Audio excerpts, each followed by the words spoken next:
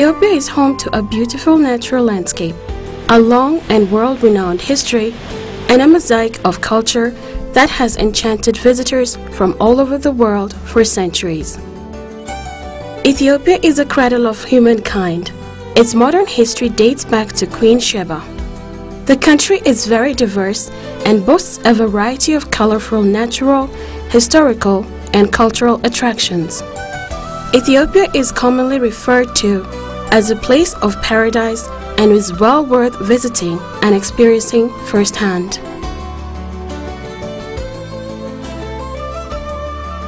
Ethiopia's capital city, Addis Ababa, is often referred to as a living museum where different ethnic and cultural tribes live together in peace. Here, we will discuss the tourist resources of the Amhara region. We will take you on two routes, the northeastern and the northwestern roads of Addis Ababa.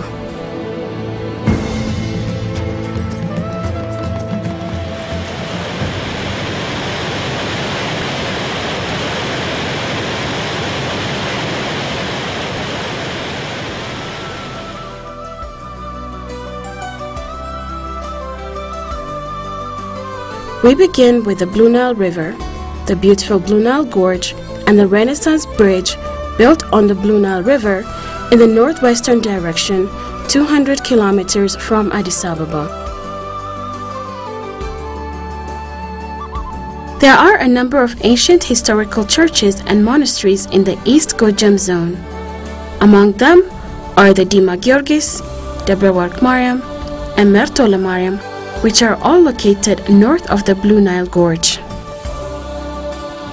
The Bahra Georgis Lake, beautiful landscape, and the breathtaking mountain of Choke are also found in East Gojam.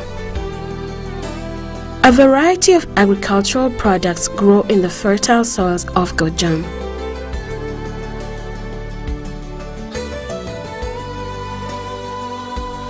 Gojam is home to many original and interesting indigenous cultures.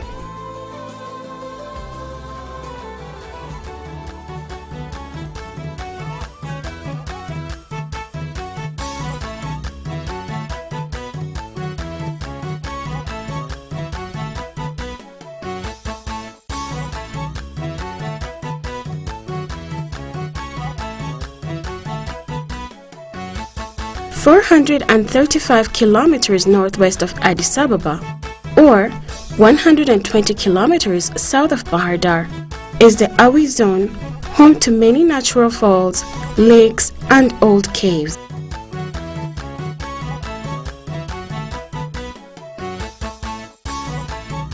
The Awi Zone is also a place of cultural value. Awi people wear a particular type of dress and dance in a unique fashion. The Awi Horse Association hosts a cultural event which falls on January 23, Ethiopian calendar, every year.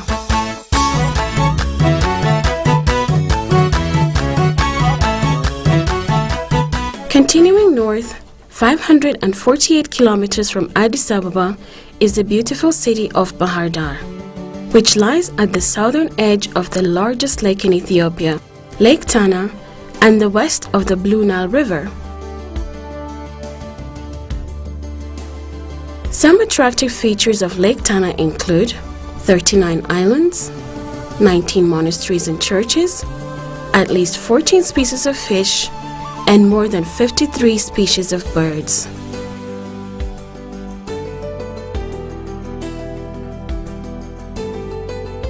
Among the many foreign tourists in Bahar Dar, one German expressed his excitement about the city and lake by saying, Bahar Dar is a magnificent city. It is our favorite place in Ethiopia. Bahar has a lot to offer. It has got many advantages. It has got beautiful Lake Tana with its monasteries that are absolutely fascinating. It has got a very nice atmosphere. The flowers are magnificent in the streets. The food is delicious. It is really our favorite place here. If there is one city that you should visit in Ethiopia, it is Bahar If there is only one stop you make in Ethiopia, please make it Bahir Dar. Hotels are comfortable and it is a very pleasant place indeed. The most beautiful city we've seen in Ethiopia. There are nice hotels and lodges along the shore of Lake Tana and in the center of the city that provide clean and satisfactory services. The United Nations Secretary General Ban Ki moon stayed at one of the lodges in 2011. According to His Excellency Mr. Ban Ki-moon and his guests, the hotel was very comfortable and inviting. The Ethiopian Prime Minister Meles Zenawi expressed his appreciation for the hospitable character of Bahar Dar city as follows.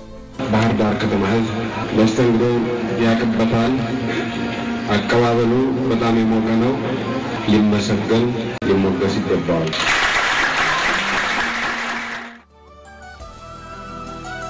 At present, conference venues and sport tourism are growing more than ever in Bahar Dar. The Blue Nile International Convention Hall, across from the Blue Nile River, and the Bahar Dar Stadium enhance the tourism industry in Bahar Dar, in particular, and regional tourism development at large.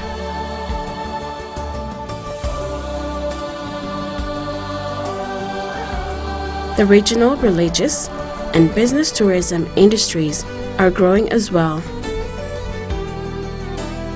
A tourist destination near the city is the Blue Nile Falls, or Tis Isat in Amharic, which are located 30 kilometers southeast of Bahar Dar.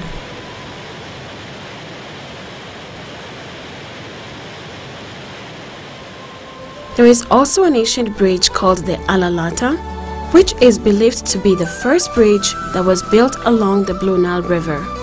The bridge was constructed with the help of the Portuguese during the 17th century.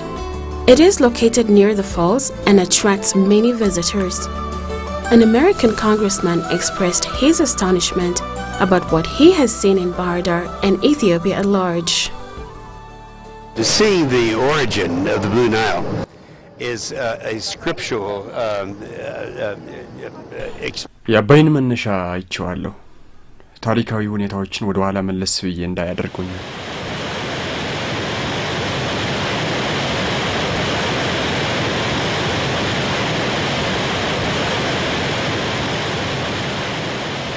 Next, the ancient city of Gondar, which is located 728 kilometers north of Addis Ababa and 180 kilometers north of Bahar Dar, is home to many historical, cultural, and natural resources. Gondar served as the capital city of Ethiopia before Addis Ababa more than 200 years ago. Gondar has many unique and architecturally beautiful castles which were built in the beginning of the 17th century. The architectural culture of Gondar is reflected in the ancient buildings of the city.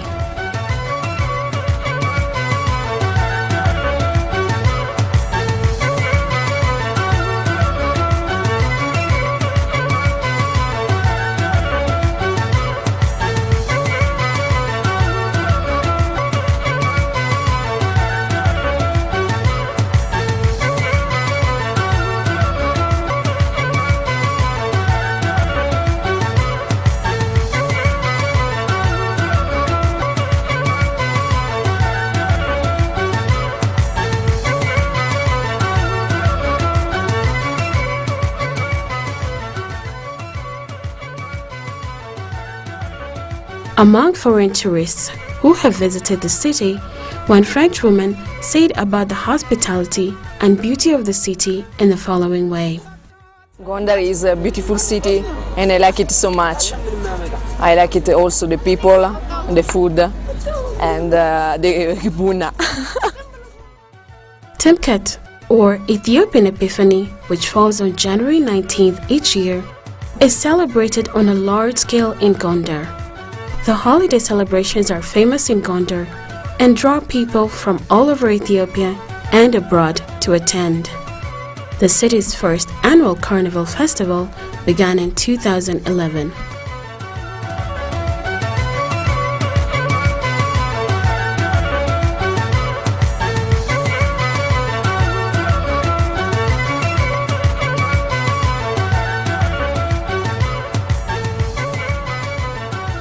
Next, we have the Simien Mountain National Park, 115 kilometers north of Gondar. In addition to incredibly breathtaking landscape, the park is home to a variety of endemic fauna and flora species. The Walia ibex is among the special endemic species in the Simien Mountain National Park.